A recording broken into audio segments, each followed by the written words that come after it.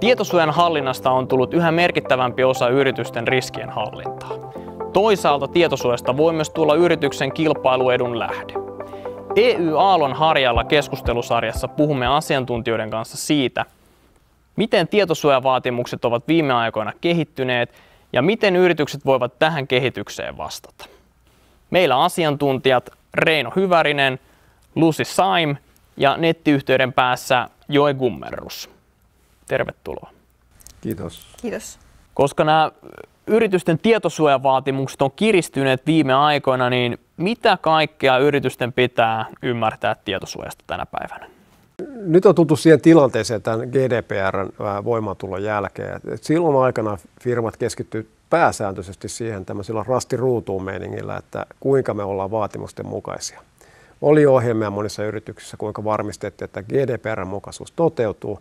Mutta sitten tämän pandemian myötä ja muutenkin kehitys on kehittynyt siihen suuntaan, että pilvipalveluiden ja muiden kautta me ollaan uudessa tilanteessa.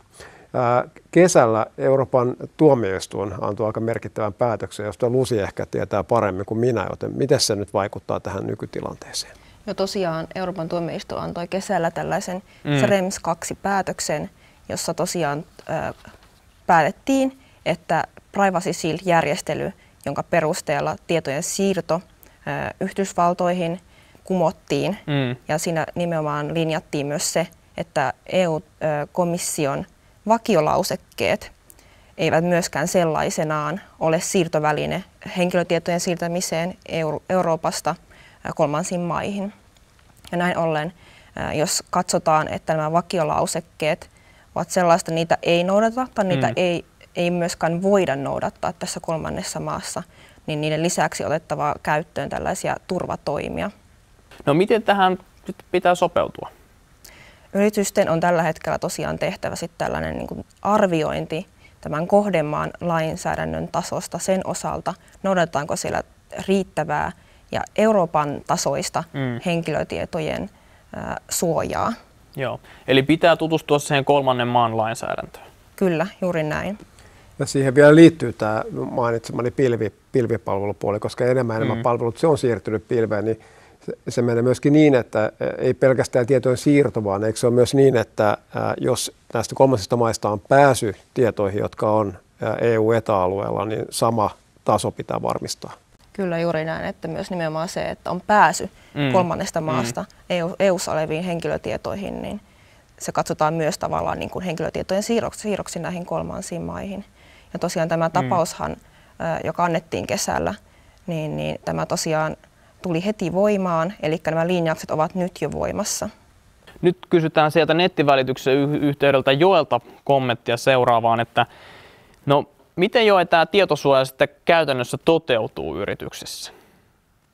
No se toteutuu monella tapaa aika vaihtelevasti. Hmm. Osassa yrityksistä se toteutuu jo erittäin hyvin ja, ja ne yritykset on ottanut sen alusta lähtien tietosuojan, tietosuojan liittyvien asioiden hallinnoimisen osaksi päivittäistä toimintaa ja, ja osaksi myös liiketoiminnan muutostilanteita. Mm.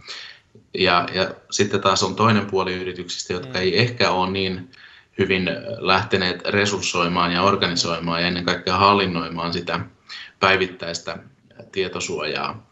Ja siinä mielessä on saatettu kyllä toteuttaa silloin tietosuoja-asetuksen voimaantulohetkellä mm. ihan hyvin kartotukset ja, ja tota, miettiä asiaa, mutta se on jäänyt sitten siihen.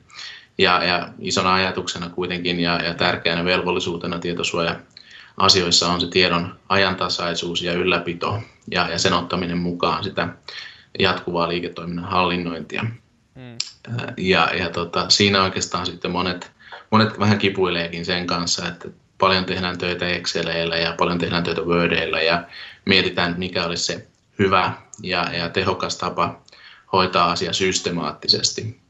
Ja siinä tietysti erilaiset hallinnointityökalut, joita, joita markkinoilla on, niin on mm. monella tapaa avainasemassa ja tarjoaa hyviä mahdollisuuksia.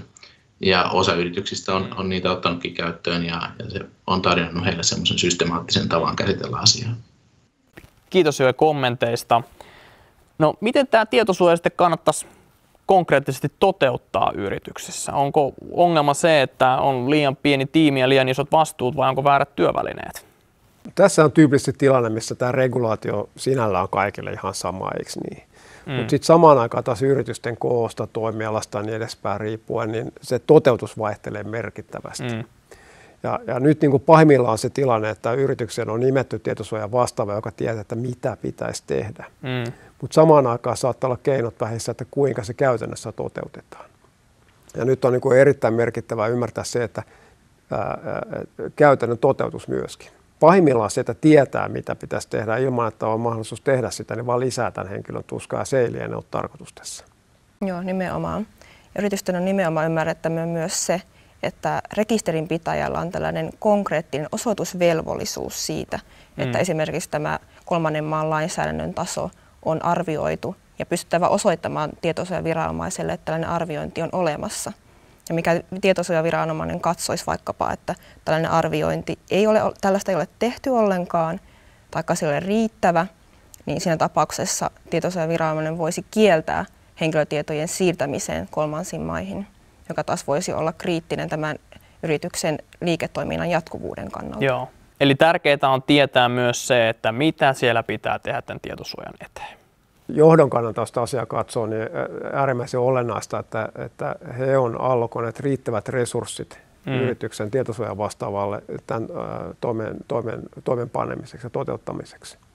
Et, et jos yritystä miettii, niin suuri riski ei välttämättä enää, mitä aluksi puhuttiin GDPR-sakoista mm, muista vastaavista, mm. se ei ole se suuri riski. Ehkä se maineriski on kuitenkin se kaikista suurin. Ja näin ollen sen, että miten, mitä pitää tehdä yhdistäminen siihen, miten se toteutetaan, niin on meidän mielestä se paras tapa kontrolloida tämä riski yrityksissä. No miten tästä tietosuojasta saadaan sitten yrityksen kilpailuedun lähde?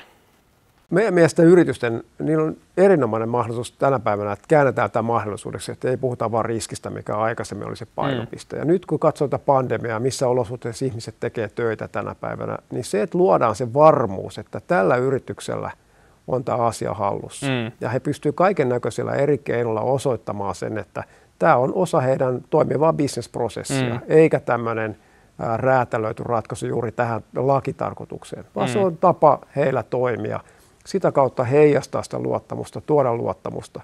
Ja, ja se tapahtuu vain sillä tavalla, että henkilöt, jotka siellä on töissä, niin kokee, että näin se on. Meillä on tiedossa, mitä pitää tehdä ja kuinka se käytännössä toteutetaan. Ja ollaan valmiit sitten reagoimaan nopeasti lain vaativien edellytyksiin, mitä tulee tietosuojakohteiden niin pyyntöihin ja niin edespäin.